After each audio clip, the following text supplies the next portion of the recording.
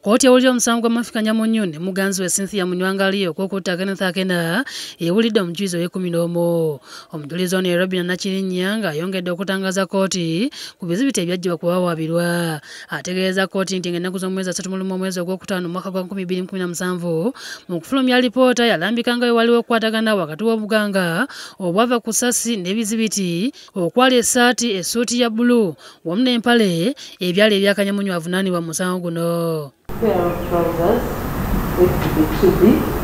Uh, it was in this side, the right hand uh, pocket, The right. around Okay. mm, at the head and Okay. inside. robina nakirinnya mu alipoota y'emu yalaganga ebizibiti by'emmotoka okwala ey'akanyamunyu wamu n'ey'omugenzi akena nga bwe zalina akakwate nga zino zali ku nnamba uau lusanvu abiri mu ttaano g ne uaw bitana na munana emu Uganda Revenue Authority declaration of temporary exportation for Kanyamunyu Matthew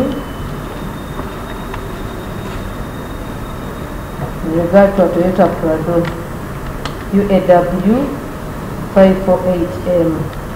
Ono era alaze kkooti ebizibiti ebirala ebigambibwa okuggibwa mu mmotoka ya joseph kanyamunyu muganda wa matthew kanyamunyu okubadde ebiwandiiko ebirala. Oluvannyuma lw'omujulizi robina nakirinnya okwanjulira kkooti ebizibiti bino oludda oluwawaabirwa lusabye kkooti okuluwaayo obudde bwa ssaawa nnamba okusobola okwekenneenya ebizibiti wamu n'obujulizi. Wabula bannamateeka babawawaabirwa bawakanyizza ekiwandiiko ekyaweebwa nakirinnya okuva ku poliisi nga kimusaba okukebera ebizibiti olw'obutakwatagana nga bano basabye kkooti okukigoba wadde nga kino kiwakanyiziddwa ab'oludda oluwaabi omulamuzi stephen mubiru mu kubaako kyatangaza alagidde abawandiika ebiwandiiko bino wamu n'abaabitambuza okubaako kye batangaza kkooti.